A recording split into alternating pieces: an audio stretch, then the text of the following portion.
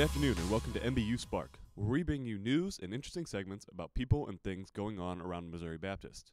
On today's show, first we'll bring you a preview of the MBU baseball team. After that, Chris Curry will bring you a recap of the St. Louis Auto Show. Next, Stephen O'Neill will tell you all about the campus ministry and music groups. And to close out our show, we'll read you a review of a popular movie by one of MBU's own.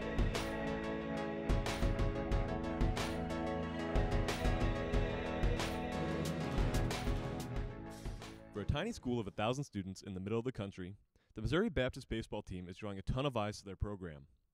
I guess that's what happens when the team is ranked as the number one NAIA program in the country by the baseball scouting website Perfect Game. What made this program such a high pick for the year? There's no shortage of answers. First, let's talk about some of the returning hitters for the team. The Spartans bring back a core of position players from last season who figure to take a lot of at bats for the team this year. Brent Zimmerman, Jeff Smith, and Eli Roundtree combined to hit 303 with 22 home runs. That means the three of them combined to hit more home runs than all but 45 teams in the nation. This number doesn't even include the 11 home runs hit by All American outfielder Orlando Oliveira, who also led the NAI in hits per game and was top 10 in many other counting stats. Add those numbers, and the four hit more home runs than all but 19 teams in the country. That's an insane number. Those core players are supplemented by a number of talented transfers. A platoon at catcher brings some of the best defense the teams will see this year. Another platoon at first base brings a terrifying amount of power and size to the team in Aaron Pangilian, Timmy Too Tall Cusick, and Joey Greco. With Smith moving over to third base and Zimmerman moving to short, second base has been taken over by a slick fielding, table setting Aaron Colazzo.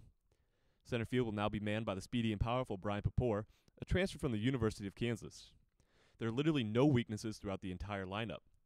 But all the offense in the world means nothing if you can't prevent runs yourself. It's a good thing the Spartans brought back their three weekend starters from last year. That includes All American Brandon Zwicky, who threw to a 3.05 ERA and also had five complete games. Add in Dave Mullins and Michael Yarborough, who combined to go 18 2 with a 2.45 ERA, and teams think that they would want to get to the bullpen. Not with this team. A stable of returning, overpowering arms returns to anchor the end of games.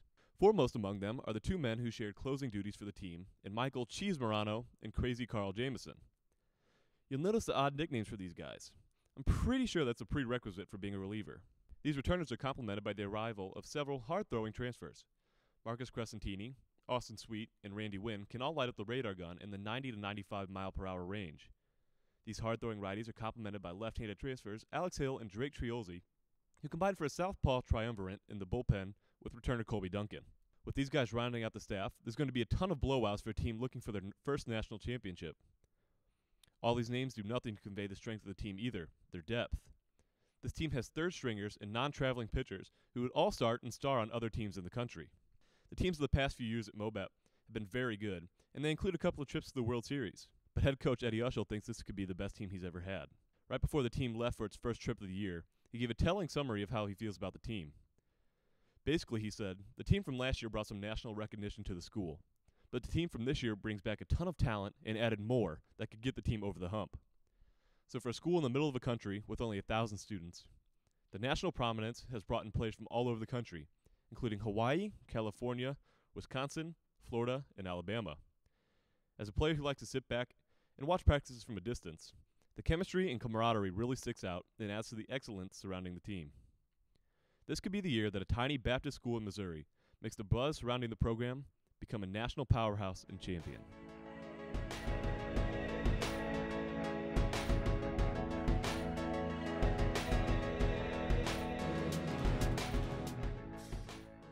The St. Louis Auto Show was back in town this weekend, January 23rd through the 25th. Headlining this year's show was Vaughn Gittin Jr. with Hurst Performance Racing. Vaughn Gittin Jr. and his Mustang RTR Spec 5 were out to show us just how he became the champion that he is. With passengers in the car with him, he was squealing tires around obstacles with the gas pedal firmly planted on the floorboard, narrowly missing the barriers erected.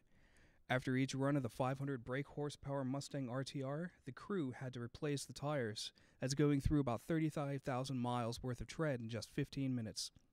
Hurst Performance Racing brought out several cars featured in the Indy 500, like the 1974 and 77 pace cars, as well as the 1972 and 2011 parade cars. The 1972 parade car was an Oldsmobile 442, which was built specifically to show off the Hurst shifter, which they had Linda Vaughn, a notable beauty contestant and model from the 1970s. Most vehicle manufacturers brought out their model lines for the 2015 year, including over 500 production cars, with Ford and Kia doing a virtual test drive and a fully automated simulator. The Rams punter, Johnny Hekker, was at the show signing autographs and posing for pictures with fans. The Million Dollar Mile lived up to its name. They were showing the two Lamborghini Aventadors and the Aston Martin Vanquish. The horseless carriage cub made showing with a 1956 Jaguar and a 1954 Cadillac.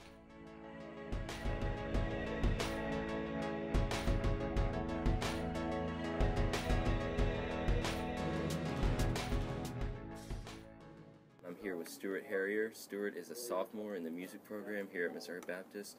He is a member of the group Closer and also the director of the chapel band.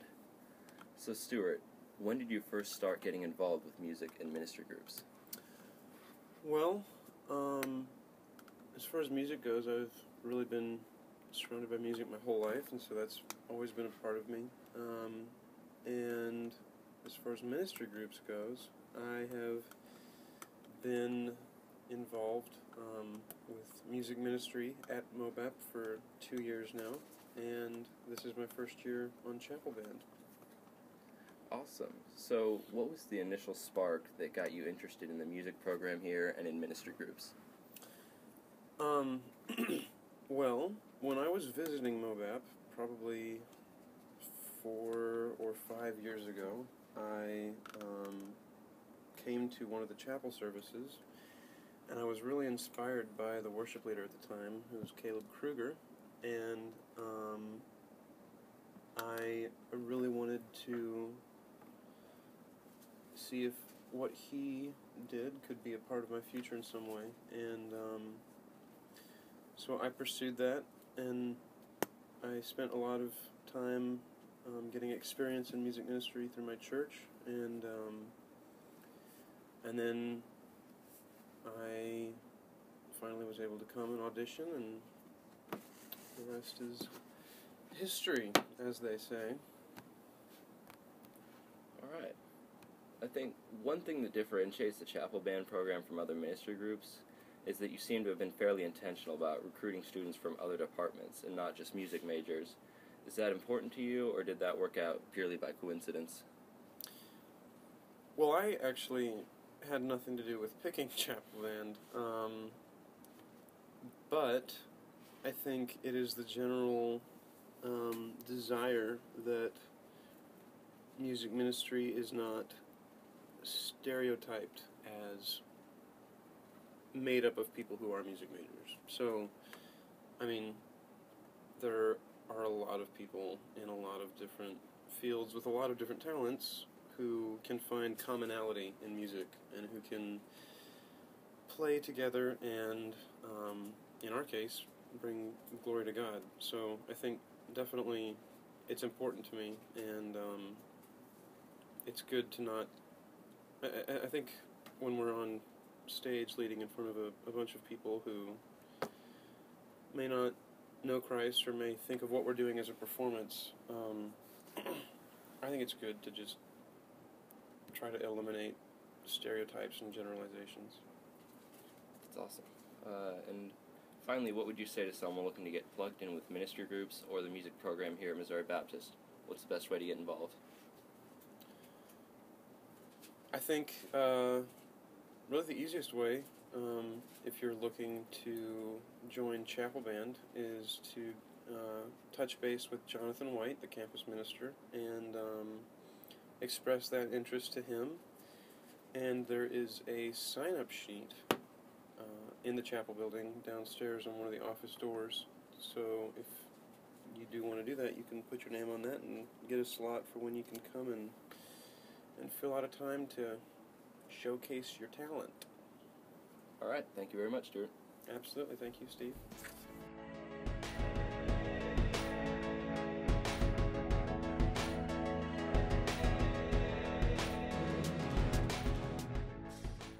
For this segment, I'll be reading a movie review over Slumdog Millionaire by Micho Janicevich. I watched an incredibly popular British drama movie, Slumdog Millionaire, directed by Danny Boyle. This movie is an adaptation of the novel Q&A by Indian author Vikas Swarup. I was really impressed after seeing this movie because it shows the real life situation in India. It also helps me to understand that there are different choices in life and how important it is to pick the right one. It shows how people should not be greedy, disrespectful, or cheap.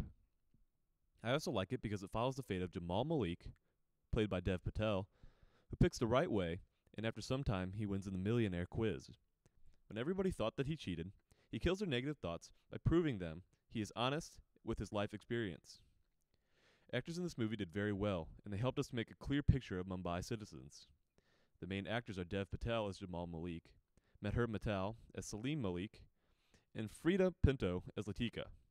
Dev Patel did an amazing job acting as a normal Indian who is trying to survive and live a decent life. His emotions and commitment show us working hard and being honest can help you achieve your goals. In the movie, he is a young man who faces a lot of negative, dishonest people with criminal history who don't show any respect for other people. But he stays on the right side of the law and he finds the honest way to earn money and win the quiz. The actor who represents the opposite side, or bad side, is Jamal's brother Salim, Meher Matal. He's totally different, he doesn't care about other people, and he finds that it's easier to achieve your goals if you steal, kill, and treat people as animals. He loves his brother and he would die for him, but he has an opinion that his brother lives in a different world. He shows us how hard it is to grow up and to be a good person after being raised in a stressful childhood with no parents. He's the example of those people who pick a wrong side as a result of their childhoods. Freida Pinto acts as a beautiful, poor, and desperate girl who grew up without parents and on the street. She represents all the women in India who do not get the respect as they should as ladies. Rich, greedy criminals use her all the time, and she cannot find the way out. The movie was both predictable and unpredictable. Predictable because nothing really changed. The audience could expect that Jamal and Latika would fall in love and stay together. The bad brother dies, which can probably also be expected. The unpredictable part is when Jamal wins the millionaire quiz. The scenes were done perfectly. They look so real, like the one where the two small brothers are on the train. Also, all the costumes fit the story. Designers tried to make the actors look dirty, poor, and desperate, and they were successful. On the other side, they also made these rich people look rich. Music perfectly matched all the situations and scenes in the movie. For example, when young boys are laughing and having fun, music is loud and lively. But when they are sad and in a bad situation, music becomes slow and sad. Music and soundtrack were not from popular bands or singers, but it became popular after this movie. BAFTA Award for Best Film Music and two Academy Awards, one for Best Original Music Score and the other for Best Original Song for Jai Ho. The soundtrack also won two Grammy Awards, one for the album itself and another for the song Jai Ho. This explains the music and proves how good the movie is.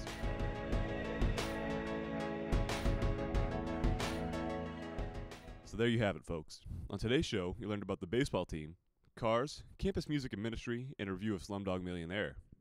Thank you for listening to this first podcast. This is Daniel Hartman with Chris Curry, Stephen O'Neill, and Katie Seppin signing off.